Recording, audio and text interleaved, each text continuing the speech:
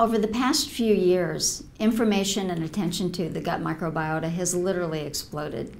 There are new scientific publications coming out almost on a daily basis.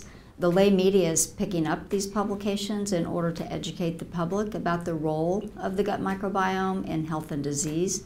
And even the White House recently made a formal commitment to fund research in this area.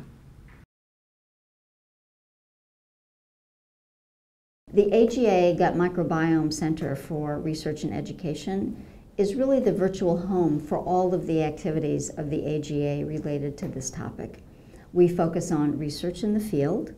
Uh, we're intent on educating um, not only our members but also patients in regard to information on the gut microbiota. We also interact with stakeholders, hoping to ensure that microbiota based therapies that are coming out on a daily basis are both safe and effective for our patients. The AG Center for Microbiome Research and Education has been concerned for some time about the lack of an FMT registry for patients who have received such treatments.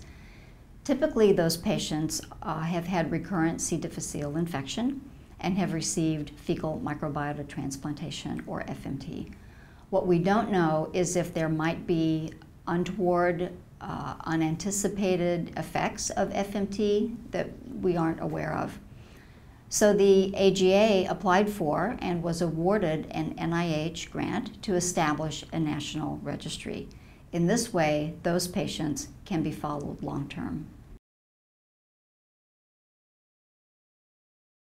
Our center works with the AGA Research Foundation to support research in the gut microbiome area.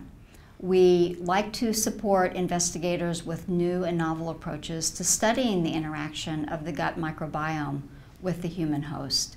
We support all types, all kinds of researchers, including those early in their career, as well as those more seasoned investigators who have been in the field for some time. The AGA Center is focused on educating not only members but also patients in regard to gut microbiome. Last year at DDW, we held our first active learning session on this topic and have an exciting sequel planned for 2017. We will focus more on the non-bacterial members, viruses, fungi, etc., and educate our members of new technological approaches as well as computational analyses for determining the presence of these constituents uh, in the host. On our website, we have a collection of on-demand recordings so our members can educate themselves at their own pleasure uh, on these topics. We're working diligently to expand the information on the website as well. There is so much exciting information coming out daily and so much happening in this field that we're excited that the AGA Center for Microbiome Research and Education can be a platform for distributing this information.